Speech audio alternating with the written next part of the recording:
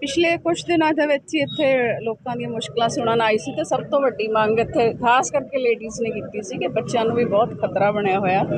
ਤਾਂ ਉਹਦੀ ਕੰਧ ਦੀ ਜਿਹੜੀ ਟੁੱਟੀ ਹੋਈ ਕੰਧ ਦੀ ਸ਼ੁਰੂਆਤ ਅੱਜ ਅਸੀਂ ਕਰ ਦਿੱਤੀ ਹੈ। ਤਕਰੀਬਨ 5.5 ਲੱਖ ਦੀ ਲਾਗਤ ਦੇ ਨਾਲ ਇਹ ਜਿਹੜਾ ਸਾਰਾ ਕੰਧ ਦਾ ਕੰਮ ਮੁਕੰਮਲ ਹੋ ਜਾਏਗਾ। ਤਕਰੀਬਨ 1.5 ਮਹੀਨੇ ਦੇ ਵਿੱਚ ਇਹ ਕੰਧ ਜਿਹੜੀ ਮੁਕੰਮਲ ਕਰਨੀ ਸੌਂਪ ਦਿੱਤੀ ਦੂਸਰੇ ਪਾਸੇ ਜਿਹੜੇ ਆ ਆਮ ਪਹਿਲਾਂ ਦੀ ਤਰ੍ਹਾਂ ਜਿਹੜੇ ਆਮ ਲੋਕਾਂ ਦੀਆਂ ਮੁਸ਼ਕਲਾਂ ਨੂੰ ਸੁਣਨ ਜਾ ਰਹੇ ਨੇ। ਕਿਸ ਤਰ੍ਹਾਂ ਦਾ ਦਿਵਾਉਂਦੇ ਲੋਕਾਂ ਨੂੰ ਪੂਰੀ ਕੋਸ਼ਿਸ਼ ਹੈ ਕਿ ਜਲਦ ਤੋਂ ਜਲਦ ਜਿਵੇਂ ਇਸ ਤਰ੍ਹਾਂ ਅਸੀਂ ਕੋਸ਼ਿਸ਼ ਕਰ ਰਹੇ ਹਾਂ ਕਿ ਅਫਸਰਾਂ ਨੂੰ ਵੀ ਨਾਲ ਲੈ ਕੇ। ਤੇ ਅੱਜ ਐਡਵਰਟਗੰਜ 'ਚ ਵੀ ਇਹੀ ਪ੍ਰੋਗਰਾਮ ਰੱਖਿਆ ਹੋਇਆ। ਤਕਰੀਬਨ ਸਾਰੇ ਹਲਕੇ ਨੂੰ ਹੀ ਮੈਂ ਬੁਲਾਇਆ ਹੋਇਆ ਵੀ ਜਿਹੜੇ ਲੰਬੇ ਸਮੇਂ ਤੋਂ ਰੁਕੇ ਹੋਏ ਕੰਮ ਹੈ, ਸ਼ਿਕਾਇਤਾਂ ਆ ਰਹੀਆਂ ਵੀ ਅਫਸਰ ਕੰਮ ਨਹੀਂ ਕਰਦੇ। ਹਰੇਕ ਅਫਸਰ ਦੇ ਨਾਲ ਅੱਜ ਅਸੀਂ ਵਰਕਰਾਂ ਦੀ ਮੀਟਿੰਗ ਕਰਾਉਣ ਜਾ ਰਹੇ ਹਾਂ।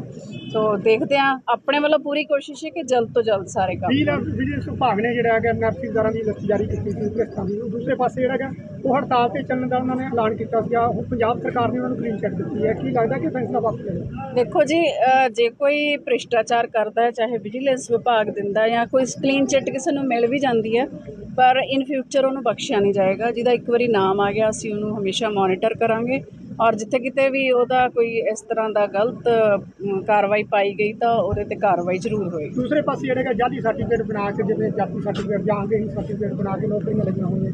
ਪੰਜਾਬ ਸਰਕਾਰ ਉਹਨਾਂ ਵਿਰੁੱਧ ਕੀ ਕਾਰਵਾਈ ਕੀਤੀ ਜਾ ਰਹੀ ਹੈ ਜਾਂ ਕਿ ਸਿਰਫ ਰਿਕਵਰੀ ਪਾਈ ਜਾਂਦੀ ਹੈ ਜਾਂ ਕੋਈ ਮਾਮਲੇ ਵੀ ਕਰਦੇ ਹੋ ਦੇਖੋ ਮੈਂ ਜਦੋਂ ਤੋਂ ਹੀ ਅਸੀਂ ਸ਼ੁਰੂ ਕੀਤਾ ਸਾਡੇ ਕੋਲੇ ਤਕਰੀਬਨ 93 ਕੇਸ ਸੀਗੇ ਪੈਂਡਿੰਗ ਜਿਨ੍ਹਾਂ ਚੋਂ ਅਸੀਂ 28 ਦੇ ਲਗਭਗ ਨਿਪਟਾ ਚੁੱਕੇ ਹਾਂ। ਔਰ ਹਰੇਕ ਨੂੰ ਅਸੀਂ ਜਾਲੀ ਸਰਟੀਫਿਕੇਟ ਰੱਦ ਕਰਕੇ ਨੌਕਰੀ ਚੋਂ ਵੀ ਬਰਖਾਸਤ ਕਰ ਰਹੇ ਹਾਂ।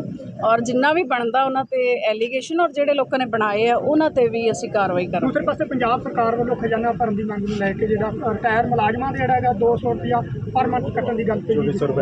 ਅ, ਦੇਖੋ ਜੀ ਅਸੀਂ ਲੋਕਾਂ ਦੇ ਨਾਲ ਖੜੇ ਹਾਂ। ਜਿੱਥੇ ਕਿਤੇ ਲੋਕਾਂ ਨੂੰ ਸਾਥ ਅਸੀਂ ਮੰਗਾਂਗੇ ਜਿੱਥੇ ਦੇਣਾ ਪਿਆ ਉੱਥੇ ਦਵਾਂਗੇ ਵੀ ਤੇ ਜਿੱਥੇ ਲੈਣਾ ਪਿਆ ਉੱਥੇ ਲਵਾਂਗੇ ਵੀ। ਕਹਿੰਦੇ